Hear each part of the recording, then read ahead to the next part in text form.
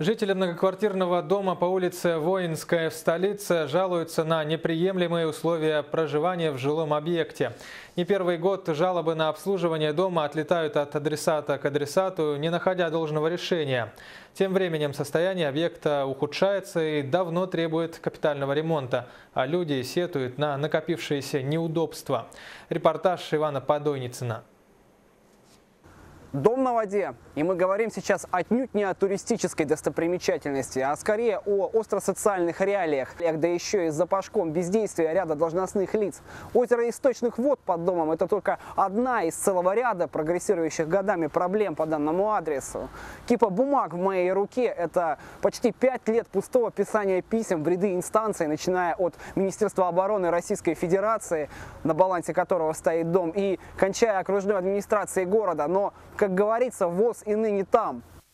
Надлежащим образом убирать мусор со двора и разобраться с канализацией. Жильцы домов 9 и 10 военной части 77-981 просили еще с 2012 года. Изначально управляющая компания «Славянка», находящаяся в Чите, обещала урегулировать все проблемные вопросы своей компетенции. Мы сколько писали товарищу Гвоздевскому в Читу писали, писали Министерство обороны, везде сплошные отписки, писали в прокуратуру. Все везде разберемся, разберемся, но толку, сами видите, нету по дому. После «Славянки» приехал начальник автодорожного округа, который нам предоставил нам компанию. Приехал их директор, жилищный стандарт. Все будем делать, все будем делать, все будем делать. Но вы за все платите, и мы, тогда мы будем делать. Поэтому вы за все платите. Хотите воду, бойлер, чтобы вам поменяли, горячий поставили?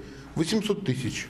Аварийная ситуация таким темпом только обросла новыми обстоятельствами. По-прежнему не отремонтирована кровля, чердачные помещения, межпанельные стыки нуждаются в утеплении, источные воды из септика в весеннее время разливаются по рельефу местности. Также необходимо сделать косметический ремонт подъезда. Мы просто тут еще почистили, вот там вот плесень была наверху.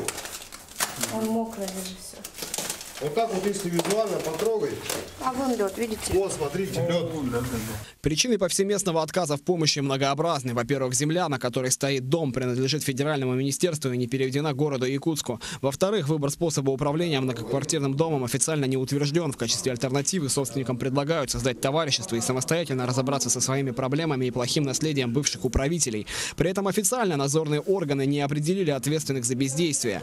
Ну а камни тут могут лететь как в иногородних былых кураторов, так и в жильцов дома.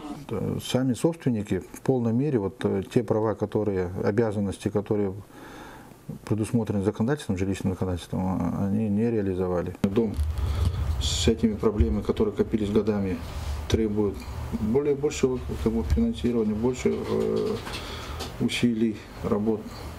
А по текущим платежам тоже дисциплина у граждан э, хромает закон э, един для всех. Если гражданин приватизировал квартиру в многоквартирном доме, то, соответственно, у нас э, субъекта права собственности уже как минимум двое становится. Поэтому надежда постояльцев многострадального дома сейчас осталась одна. Это последняя, недавно взявшаяся за них управляющая компания. В первую очередь мы что можем данному дому сделать? То есть мы установили всю входную группу, там даже были моменты, что двери были просто сломаны и стояли рядом. И ведем работу свою следующим образом. То есть мы планируем ряд мероприятий, если собственники его утверждают, мы даже, в принципе, готовы вложиться и сделать в эти работы. Ну, чтобы в дальнейшем потом без аварийно обслуживать данный дом.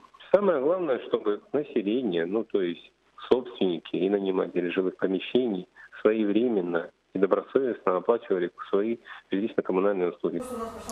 Иван Подойницын, Евгений Рязанский, Юрий Филиппов, НВК «Саха», Якутск.